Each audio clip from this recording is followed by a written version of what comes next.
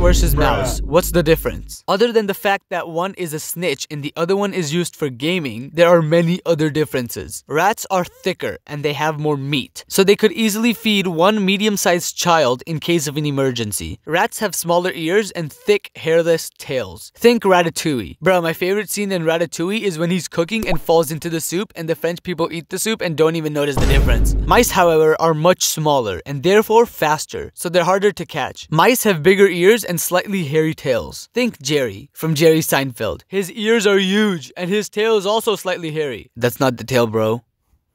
If you can convince these troublesome rodents to get an x-ray, you'll find that they have very similar bone structure. Mice have smaller features and rats, being bigger, have much bigger heads and feet. You know what they say about mice with big feet, don't you? It's trademark.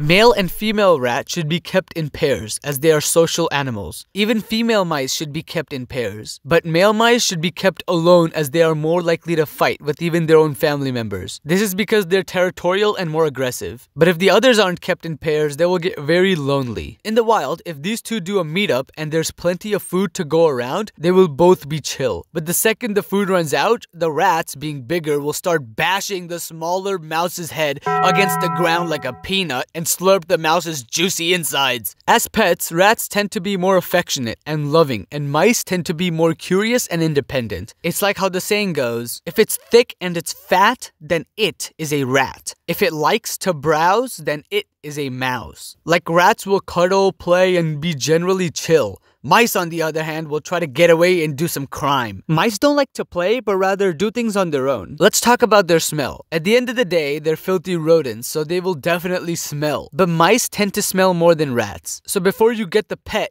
get some mouse deodorant. Mice live for about two years and rats for about three. But if we were to look at their poop, rats still come out on top. But don't be confused, the poop still comes out on bottom. Mouse poop is smaller, but it's more spread out as they are very curious creatures. Rat droppings are bigger and they're curved, and it's centralized in a smaller area so it's easier to clean up. And since mouse poop is smaller, it's easier to cook, and rat poop is harder to cook and it's really chewy. Rats can also be trained like dogs. They can be trained to roll over, twerk, and even sniff out landmines. Seriously, in Tanzania, they use Gambian pouched rats to sniff landmines and, you know, tuberculosis. They literally took these cheese munchers, which once stuffed their mouth with so much food that they could barely fit inside their own burrows, and taught them to be contributing members of society. Oh yeah, and rats and mice don't actually like cheese. It's a myth as it was the easiest food for them to access in the old days. So rats are smarter, thicker, and in case of an emergency, have more meat. So rats win, right? What about the fact that rats were also the ones responsible for the spread of the bubonic plague? This may seem like a con, but it's actually still a pro. Think about it. Neighbor being loud? Send a rat with bubonic plague to their house. Want a raise at work? Threaten your boss with a rat with bubonic plague at rat point until he fulfills your demands. Drive through get your order wrong? Send a bubonic rat to the corporate office for underpaying the employees. So basically, mice being smaller are perfect to be stepped on and killed, and rats, on the other hand, being thicker, are perfect to cuddle with